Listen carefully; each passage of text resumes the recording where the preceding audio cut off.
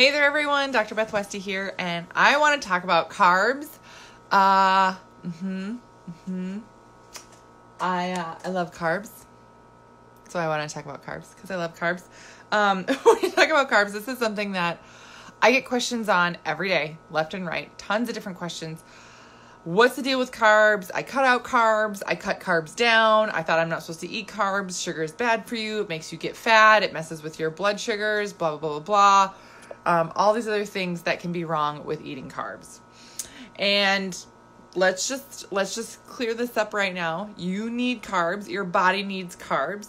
You need carbs for mental focus, for energy. You need carbs to upload hydration into your cells. You need carbs to upload protein and absorb the maximum amount of protein. Your body needs carbs. Now, if you have the problem with carbs again historically, so some of this is in my book, The Female Fat Solution, where I talk about carb cycling and I talk about the history of nutrition. Ugh, don't get me started. Everybody remember the food pyramid? Everybody remember the food pyramid and what's the big serving on the bottom? Anyone? What do you need like 11 servings a day of? Carbs? Oh, wow. That's a lot. that's a lot. You don't need that many servings of carbs a day. Just a just a note. Mm-hmm. No, you don't. But uh, carb cycling, I love. Um, I've talked about that before. The female body has a different body each week of the month, so sh- shifting your nutrition for that is important. Um, I've talked about carb cycling in a podcast, the episode that I put out recently. So if you want to know more about that, there's tons of info there. But the biggest thing that I hear from women now is that they have to cut out carbs to lose weight and to get progress. Hi, Sheila. Um, and it's just not true. It really isn't. And your body needs carbs. And as long as your metabolism is working for you, you are going to burn the carbs that you eat. Mm-hmm. Yay! And you're going to be a happier person. Why? Because your brain is going to be working better and your brain likes carbs. That's how your brain works. Carbs. So, and I got really into this topic actually. So, I'm like literally eating blueberries right now because I got a bunch of them at Costco. Who else loves Costco? I love Costco huge thing of organic blueberries because they're delicious. And look at this, like just delicious big plump blueberries. And I'm snacking on these and I'm like, this is a fruit, right? This is a carb, and these are things that people are cutting out. And I'm like, this is ridiculous. Blueberries are delicious. Eat blueberries. But there's so many people who are afraid to eat any type of fruit. I talked to a gal, I'm not kidding. She was like, Oh, I haven't had fruit in three years because of the sugar. No, fruit is so important for fiber, for nutrients, for everything. Yes, buddy, you can finish off the blueberries. Yeah, he's eating the rest of the container of blueberries. You're cleansing it and making you hungry. Sorry, Sheila. um, but one of the things that people get kind of confused on is, oh, are, are, all sugars are bad, all carbs are bad, blah blah blah blah blah. Well, carbs do have categories of sugar in them, right? So carbs it includes. Oh my Okay, so my kids were clearly using my markers. Sucrose. And there's going to be glucose, fructose. Now, these are naturally occurring sugars, right? There's going to be like dextrose, maltodextrin, right? Um, oh, whoops, I just got that on my hand these are the naturally occurring things though. So when your body breaks these carbs down, it's going to break it into things like glucose. But sucrose is like table sugar. I've done I've done other videos on this if you're wondering. Um, fructose, which again I don't know if you can see on here.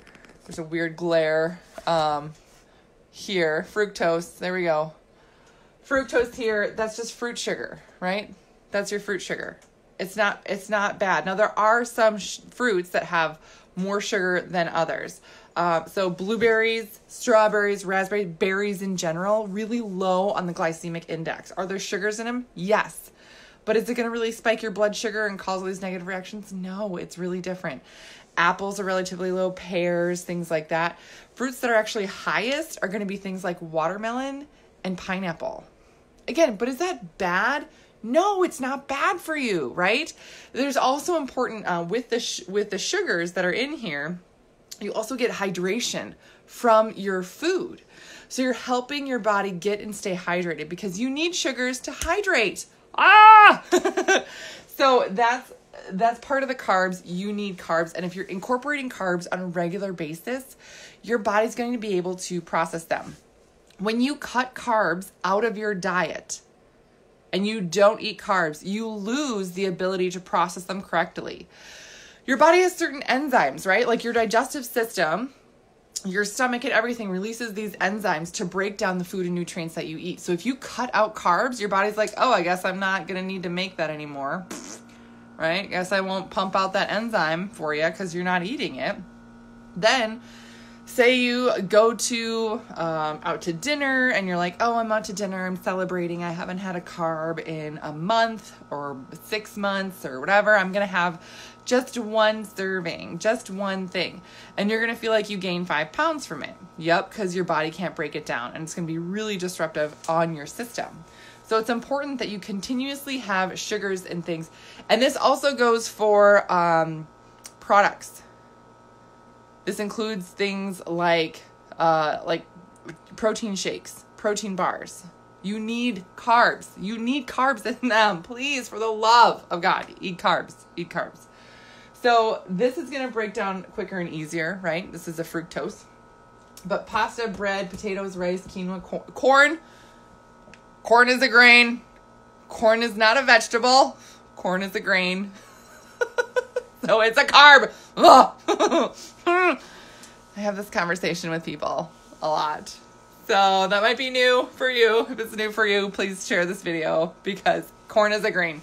But these are these are all carbs that are going to give you energy. Now, of course, some of these carbs, like if you're having a bagel, you're going to get more energy from that bagel a little bit longer than you are from blueberries, right? Because there's not a lot of calorie, there's not a lot of, you know, a lot of carb in here. They're just it's just lower.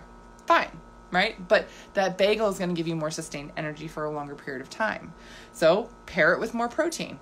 Great right? There's a lot of different things that you can do to gently and slowly incorporate carb into your diet and to keep it there, to keep your metabolism going, and to keep give your body continuously give your body the ability to process those carbs.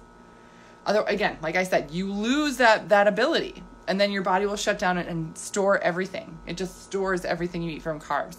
So my favorite way to incorporate that back in again is carb cycling. So I take women through this in my 12 week program. Uh, I'll put a link below if you want to schedule a call, if you've got questions. If you've been doing no carb or low carb for a really long period of time, please schedule a call and chat with me. There's it's going to be life changing to be able to eat carbs and burn those carbs correctly. Life changing, life changing. So I'll put that below, but this is the process I take these women through in my 12 week program, and it gets amazing results when you start to really incorporate carb cycling the way that it works.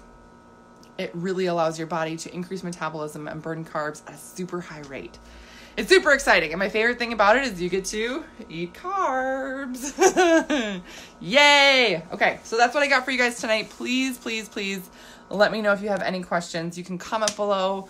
Um, like I said, schedule a call if you've got questions on anything.